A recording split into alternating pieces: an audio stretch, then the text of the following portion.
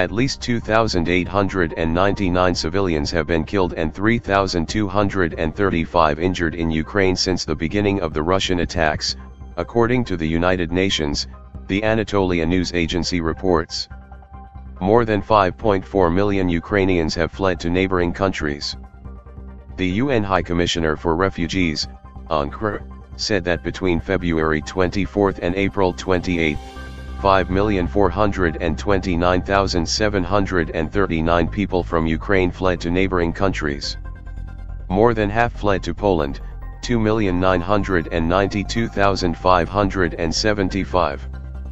It is followed by Romania, 810,021, Russia, 656,381, Hungary, 513,848, Moldova, 441,437, Slovakia, 367,904, and Belarus, 25,002. From February 18 to 23, 105,000 people from the Donetsk and Luhansk regions moved to Russia.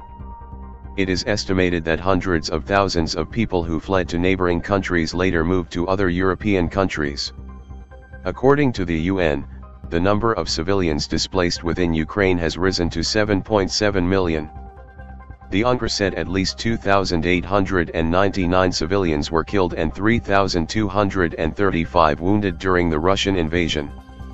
It was pointed out that the number of killed and wounded civilians could be significantly higher than the current numbers.